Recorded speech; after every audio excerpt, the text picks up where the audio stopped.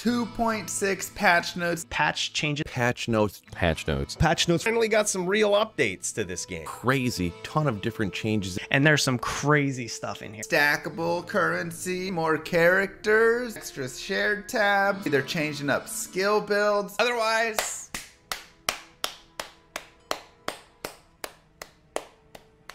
well done.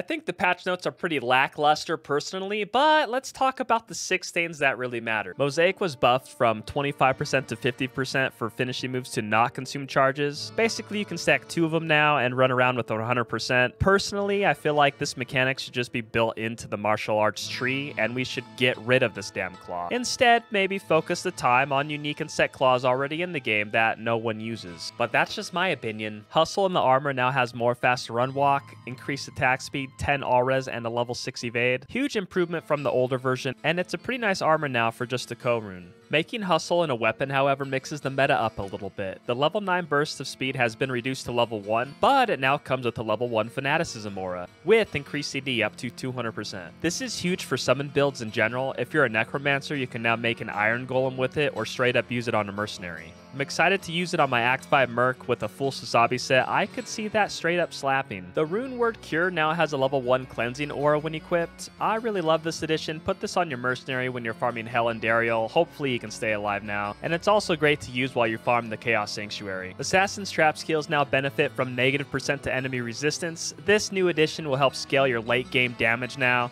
and make sure you pair this with the Sunder Charm for the Pierce. This is a huge benefit, not only for Lightning Trap assassins, but Fire Trap should make a comeback, especially while using Flickering Flame. Cold Mastery for the Sorceress has now applied one-fifth effectiveness after an immunity is broken, basically a damage nerf while you're fighting cold immune monsters. To help counteract this nerf, you basically want to stack cold facets and gear wherever you can fit them in. Terror zones are now available in offline games. I do not like either one of those, so that's disappointing to me. I'm not sure why Sweet Phil doesn't approve. It opens up more options for Magic Find Run content. I can already see regular Smuck's next video. Oh, I just did 24 hours of terror zones without using the toilet. I'm just kidding, regular Smuck. You're pretty cool, and I watch all your videos, and I like them too.